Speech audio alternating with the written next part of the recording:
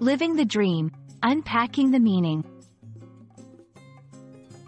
Hello everyone, and welcome to our English language learning series. Today, we're diving into a popular English phrase, living the dream. This expression is often used in everyday conversations, and understanding its nuances can really enhance your English communication skills. Living the dream, at its core refers to a life where one experiences their ideal or aspirational circumstances. It's often used to describe a life filled with happiness, success, or the achievement of personal goals. This phrase can be interpreted both literally and sarcastically, which we will explore in the following sections. Interestingly, living the dream is frequently used in a sarcastic manner. When someone says this during a tough or mundane situation, they are actually implying the opposite. It's a way to humorously acknowledge that their current situation is far from their ideal life.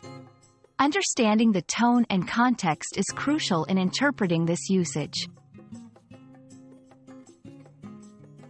In many English-speaking cultures, the phrase, living the dream, reflects an optimistic and aspirational mindset.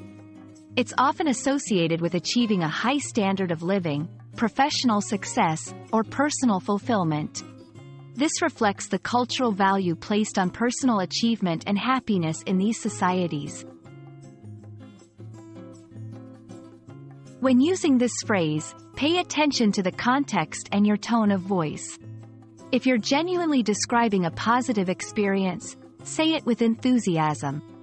But if you're using it sarcastically to describe a challenging situation, your tone might be more dry or humorous.